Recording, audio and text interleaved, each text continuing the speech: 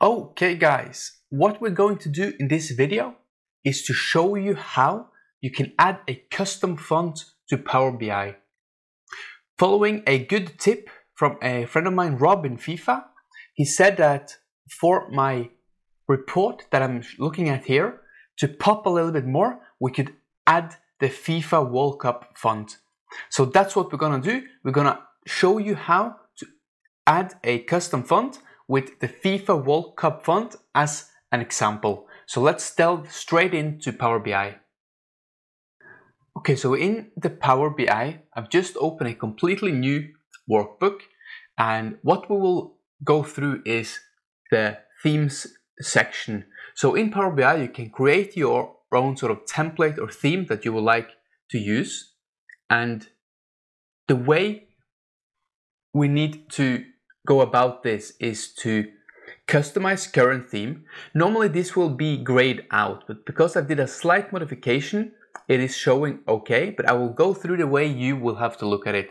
So what you will do, will just come on the first color, just take a random one, adjust it slightly so it is a little bit different, select apply, and then come back here. So in the themes, you should now be able to save the current theme. We find where we want to have a look at it. We select this one and we select new. That's what I want to call it. Select save.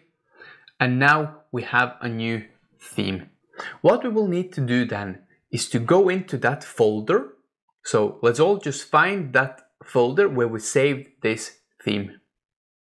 There we go. This is where I have saved my theme. So you can see it here. We can open this one and you can see the following text. What we need to do, I will drop this information in the comments section so you can just copy paste that. So let's just copy paste this one into the new one. And here is where you add the, the font name. So let's say you wanted to include Montserrat. You can just type in Montserrat and do the same again in this one. So two places you need to change the format, the text, and other than that, you're good to go. We can now just select save, just exit this one and just take down this one and we can come back to Power BI.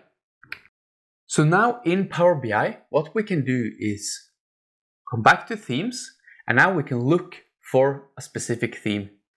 We come in here and we can see we have the World Cup new and the old World Cup. So this is the one we've just created.